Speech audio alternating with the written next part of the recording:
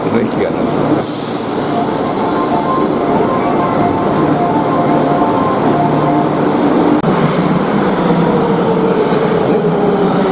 天井がこんなでかったとなんかあんま東山線の駅って感じがしませんね私も初めて来ましたここはね、えー、名古屋駅からねちょっと隣のちょっと隣の、えー、亀島駅ですね亀島ですね隣に名古屋感じで急急に穏やかになるんですよね。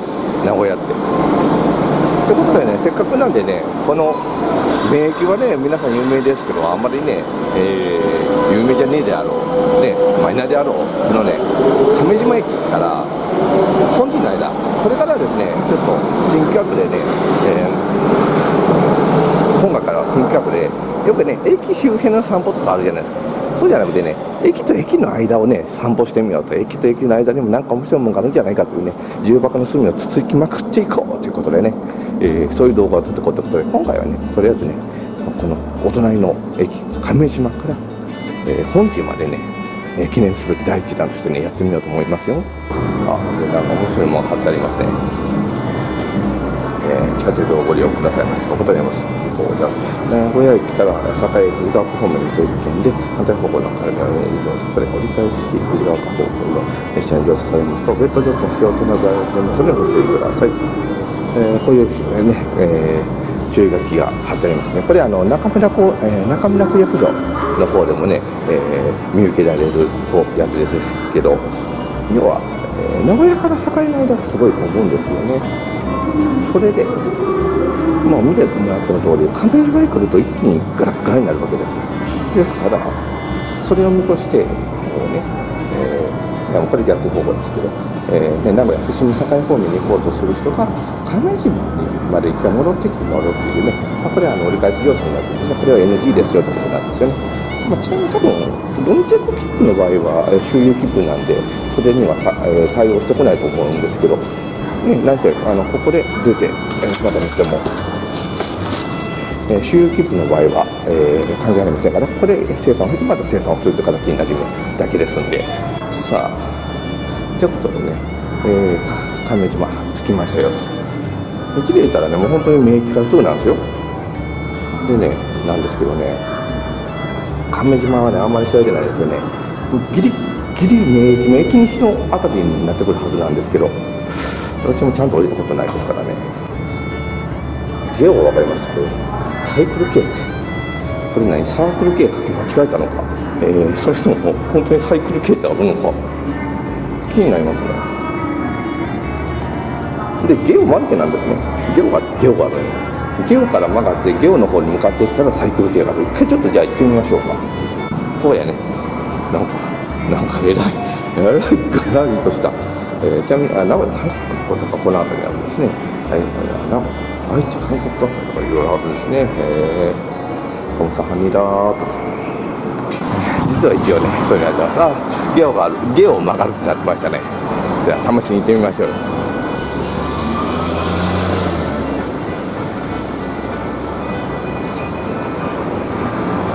じゃあ、ゲオを出て、曲がったところね、さあ、あるのはサークル系から変わったファミリーマートなのか、それとも本当にサイクル系という謎の店があるのか、あサイクル系だったとしたらきっと、なんでしょうね、サイクルやから、自転車屋さんかな。これは、ね、ちょっと謎が謎に見つてきますよ。パーキング結構安いですね。打ち止め700円。夜は打ち止め300円。こっち、こっちも夜間打ち止め300円ですね。20時からですね。20時までこちは600円。なるほど。ニーズに合わせた 料金設定になるわけですね。こっちは8時まで止めても600円ですよと。なるほど。向こうは6時までだで700円ですけど、夜は6時からもう300円の打ち止め始まります。なるほどね。いろいろやってますね。面白いな。ちなみにこの辺りやっぱし名鉄教習さん多いですね。名鉄のあれですんで、まあ、四日市にもありますけどね。伊風家町でしたっけ、これ。こんにちは。一息行くと一気にね、下町感出ますよね。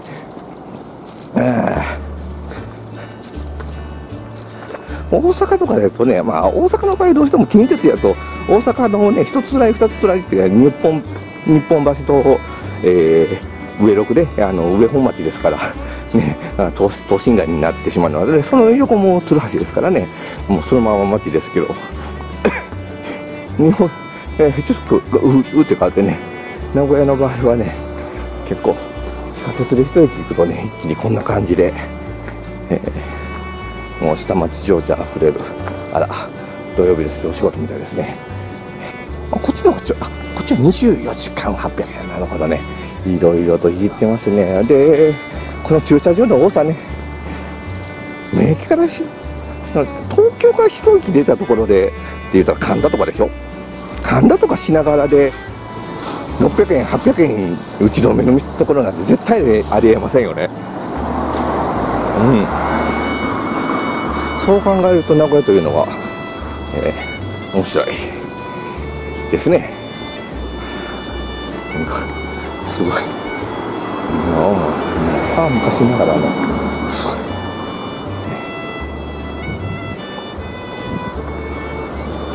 まだあれですね。まだね頑張ってますね。すごいな。とか言うとるとしれっと。のぞみと思われる新幹線走ってくるな光景ですね。まあ、名古屋市は今いろいろとね揺れてますからね。でこの辺りになるとあ佐高に入ってくるのか、うん、佐高っていうと名鉄の駅ですけどね。えーとこれは確か千原町でしたっけね、えー、このこの辺りの、細かい地名は、えー、読み方が。わからんところもありますけど。やっぱプレプラが出てくるとまた料金安くなってくるんですよ。24時間600円すごいな。さあ。そうこう言っとるうちにまた今日が出てくるはずなんですけどね。心配さんってことは豆腐とかそういうのやってるのかな。日配ってでも業界用語なんですよね。あのー、スーパーとかで働いてる方だったら絶対に聞いたことがあるしスーパーで日配って言葉知らんかったらね、えー、潜りって言われて勢いですけど。で、えー、いわゆる豆腐とか、えー、あの冷蔵品のねああいった加工品売ってるコーナーのことをね日配コーナーっていうお漬物とかもそうですね。あのパックで売ってるお漬物みたいなやつね、えーえー、お店で加工してるようなやつじゃなくて、えー、とか、えー、その他ものものですねあのうどんとかあの、ね、冷蔵のうどんねとかさ、えー、うどんの玉とか、えーいろいろと売ってるじゃないですか。あの辺りのコーナーのことを日配って言うんですよ。で、えー、大体そういった和風のものうどんとか豆腐とか納豆とかは和日配って言ってでチーズとか、えー、ああいった、えー、洋風なもののやつを洋日配って言ったりしてましたけどねとったらもう新幹線走ってくるね。ねよくもまあこんな時間かけてま普通のじゃないですけどね。あでもこれ対対向車線走ってってますね。違うかな？違うな。でそろそろ行が出てくるはずなんやけどえー、っとよいしょ。